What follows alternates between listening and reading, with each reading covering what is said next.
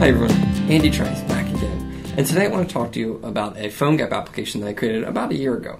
Um, it's called the Fresh Food Finder. Got it right here running on a Samsung Galaxy S4. Uh, got the same application running on iPhone 5. And I've, I've released it for iOS and Android.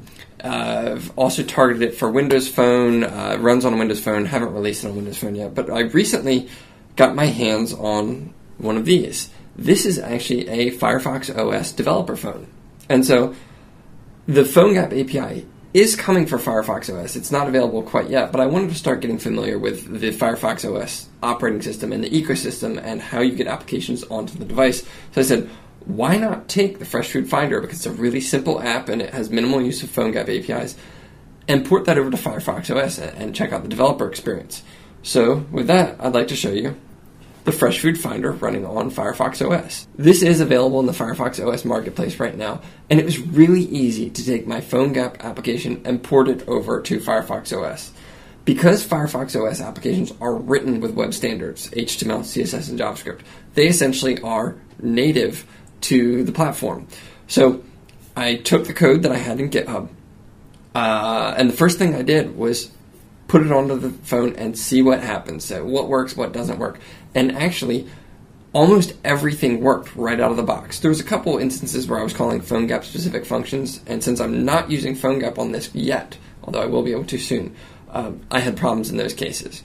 I did run into a few configuration issues, but I was able to take the code base from this application that's already been deployed to iOS and Android, set up the Firefox OS developer environment, get acclimated with it, set up the, the application config, and submit it to the, the Firefox OS marketplace in less than 24 hours. So it was very easy to get up and running and get it into the ecosystem. Let's go ahead and take a look at it on the devices. I'll show it real quick on iOS and Android and show it on the Firefox OS device itself, just to give you an idea. So what we have here, this is a Geeksphone, which is a Firefox OS developer phone. We have an iPhone 5 and we have the Fresh Food Finder. All three of them are running uh, the same app experience. The code base is almost identical between all of them. In particular, the Geeksphone, I had to comment out the, the PhoneGap APIs. But what you'll see, let me go ahead and launch the app, is that the UI is the same, the interaction is the same, and all of this is based upon the HTML and JavaScript code base and implementation. So you can see that we can find markets nearby, we can search for a market, and you have a similar experience on all platforms. Let me go ahead and switch over in particular to the Firefox OS phone. Let's move these two out of the way. And now let's say if we wanted to search for Maryland. Let's, let's see all of the farmers markets that are in Maryland. You can see we pulled back more than 50 results, but I could go ahead and I could select one of these I could view it in the map. And it you can interact with it exactly as you would expect. You can touch it, you can pinch zoom. We have nice fluid transitions. And as I mentioned, every bit of this is actually HTML, CSS, and JavaScript. We can even launch out to the separate browser to get maps. In this case, it's, it's delegating to Google Maps for directions. We can jump back to the application.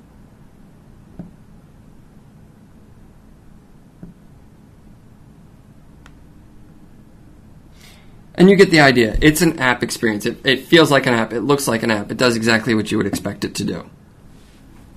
So that is the Fresh Food Finder running on uh, Firefox OS. And this code base is entirely based upon the PhoneGap code base. I, I had a couple calls in there to the Navigator uh, notification API because I had some confirmation dialogues that were coming up on other platforms, but that was the only PhoneGap specific call I had in the original code base. So I commented that out put it on the device, and almost everything worked straight out of the box. I had, uh, you know, so the configuration setup. So there's actually an application manifest that you have to set up in order to get the app on the device and give it the permissions that it needs to access specific functions. But once you do that, it, it's basically installed as a packaged app. It's on the device. Everything's local. It um, it's distributed through the marketplace, and it was really, really, really easy to get it up and running on the device. So once the PhoneGap API is actually available for Firefox OS, I'm going to revisit this and I'm just going to take the exact same code base without having to make changes for it and put it onto the device and, and resubmit it to the marketplace. But this kind of goes to show you the power of developing with web standards. Easy portability. I was able to get from the iPhone and Android implementations to an entirely separate platform, the Firefox OS platform, in under 24 hours. And um, the code for this is available on my GitHub site. And I hope you've enjoyed it. And definitely check out Firefox OS. Thanks.